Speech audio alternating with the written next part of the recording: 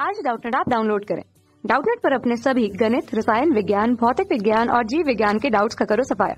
बस प्रश्न की फ़ोटो खींचो, एक ही प्रश्न को क्रॉप करो और तुरंत वीडियो सोल्यूशन पाओ।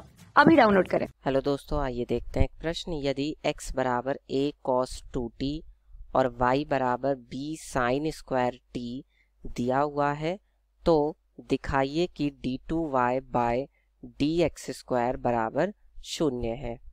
तो देखिए कैसे सरल करेंगे इसको पहले? हमें x बराबर क्या दिया हुआ है? A cos 2t यानी x जो है, वो हमें t का फलन दिया है। और y जो दिया है हमें, वो किसका फलन दिया है? B साइन स्क्वायर t, यानी वो भी t का ही फलन दिया है।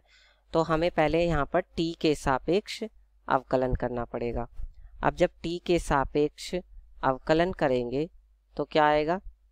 t के सापेक्ष अवकलन से ये हो जाएगा डी एक्स बटे में डी टी बराबर।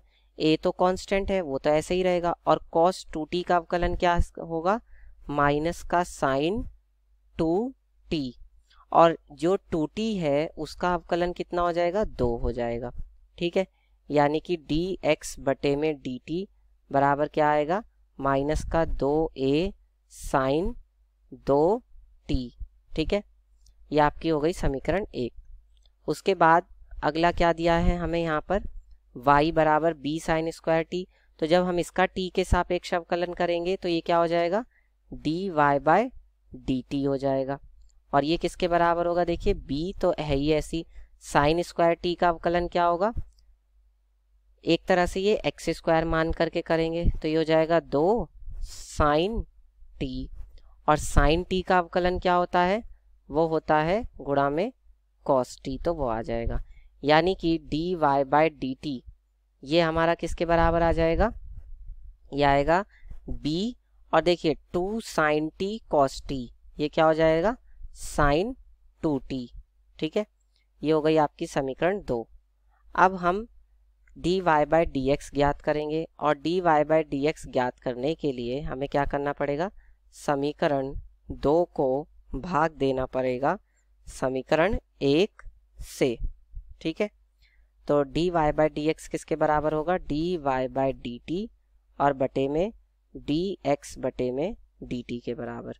तो ये कितना हो जाएगा? बी साइन दो टी और बटे में क्या आएगा?